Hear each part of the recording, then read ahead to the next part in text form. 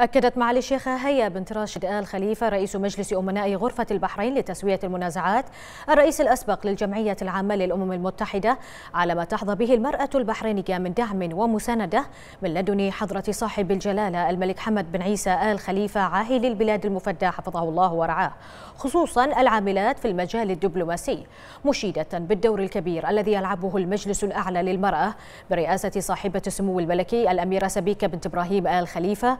قرينة عاهل البلاد المفدى حفظها الله وجهود سموها في تعزيز حضور المرأة البحرينية في مختلف المحافل. جاء ذلك خلال الندوة الحوارية التي نظمها معهد البحرين للتنمية السياسية بعنوان العلاقة بين الدبلوماسية والتنمية السياسية تزامنا مع الاحتفال بيوم المرأة البحرينية والذي خصص هذا العام للمرأة في المجال الدبلوماسي. وأكدت معالي الشيخة هيا بنت راشد خلال الندوة على الترابط الكبير بين التنمية السياسية والعمل الدبلوماسي من حيث استخدام الأدوات والآليات للارتقاء بالعلاقات الدبلوماسية مع الدول الأخرى سواء على الصعيد الثنائي أو ضمن المنظمات الدولية من أجل تحقيق المصالح المشتركة.